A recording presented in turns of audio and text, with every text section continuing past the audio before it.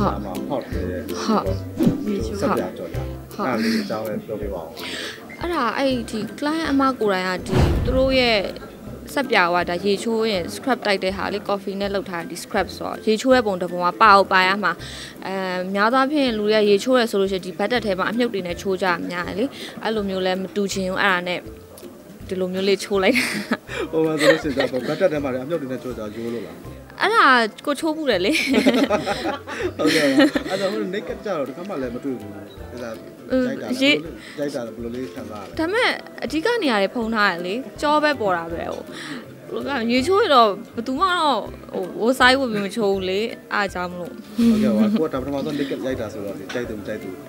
ကွဲပြားတဲ့အပေါ်လည်းရှိရလေအဲ့ဒီပေါ်ဘယ်လိုလေးပြောချင်လဲအာနေကတ်တော့မဟုတ်ပါဘူးဘာလို့ဆိုတော့အရင်တော့ကလည်းရေခဲတော့မှလည်းအင်ကြီးချုပ်ပြီး ကြောပေးပြီးရိုက်ဘူးပါပဲလေကို့ကြောလူတိုင်းမြင်ဘူးပဲလေ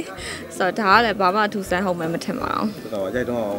သပုံစံလည်းကိုနေပဲလားမဟုတ်ဘူးမဟုတ်ဘူးဓာတ်ပုံဆရာနဲ့ရိုက်တာမဟုတ်တဲ့အဲ့ကိစ္စဖြေရှင်းရမယ်အဲ့ဒါကိုကကိုဒီ ring light လေးနဲ့ stand ထောင်ပြီးရိုက်တာပါဖုန်းကိုတိုင်မာပေးပြီးရိုက်တာပါဘယ်ဓာတ်ပုံဆရာမှရိုက်တာမဟုတ်ပါသဘူးပုံစံလည်းဆိုလည်းရိုက်ခံမှာမအင်းအင်းအင်းမလုပ်ပါနဲ့ကြောက်တယ်ဟုတ်တို့ကြောက်လည်းပြောကြတယ်ဟို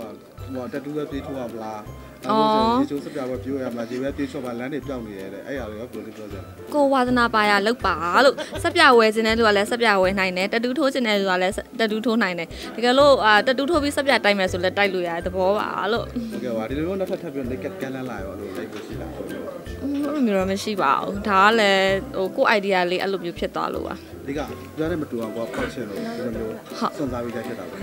အာအဓိကတော့ကိုယ့်ကိုပြန်ပြီးဟိုလူတွေကိုပြန်ပြီး entertaining လုပ်လုပ်တဲ့သဘောမျိုးလေးပါပဲကိုယ့်ကိုလည်းမယိုးချင်လို့ပေါ့နော်သူတို့လည်းမယိုးစေချင်လို့ပေါ့ဟုတ်ကဲ့ပါဟိုနောက်ဆုံးနေတဲ့ဒီကပြည့်တက်တယ်တော့အပရပြည့်တယ်တော့တော့ဆက်ပြီးဆက်ပြောပါဦးဟုတ်ကဲ့ပါတနားရဲ့ crash ကားလေးဒီလာရမှာယုံတင်တော့မယ်လာပြီးအားပေးကြပါအောင်လို့ပြောချင်ပါတယ်ဟုတ်ကဲ့ပါကျေးဇူးပါဟုတ်ကျေးဇူးပါ